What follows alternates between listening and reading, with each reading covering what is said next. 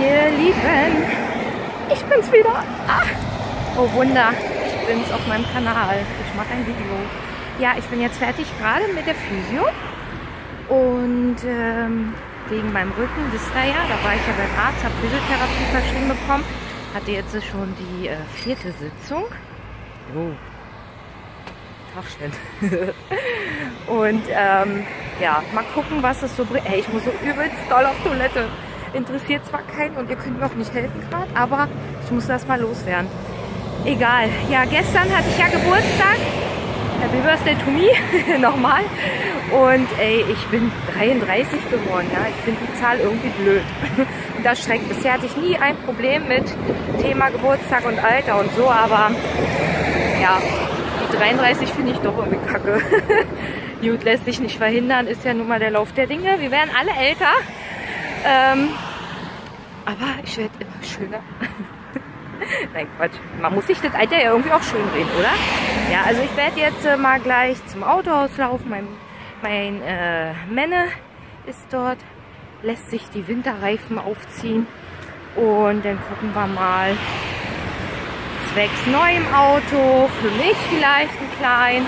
Mal gucken, ich will ja noch nicht so recht, ne? Mir reicht das, dass wir das eine haben und Patrick damit immer fahren kann, um ehrlich zu sein. Aber naja.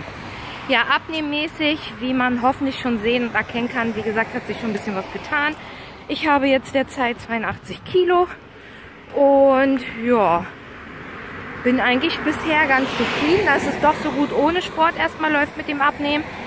Ich glaube aber, ich freue mich auch schon wieder darauf, wenn mit meinem Rücken alles okay ist und ich die Genehmigung oder das okay vom Arzt bekomme, hey, ich darf wieder Sport machen. Gut, also ich bin froh, wenn ich jetzt ein Klo finde und sage schon mal bis dann. Tschüss, ihr Süßen. Und im Übrigen, ne, ich freue mich schon mega auf Weihnachten. Kennt ihr das? Also ich bin ja ein riesen Weihnachtsfan. Eigentlich auch ein Winterfan, wenn man so will.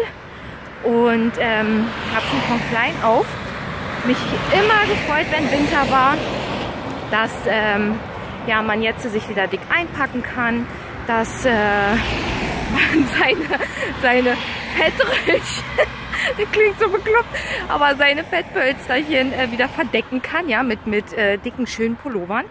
Obwohl ich ja hoffe, dass ich bald wieder in diese Situation komme, dass ich nichts mehr an Fettpölsterchen etc.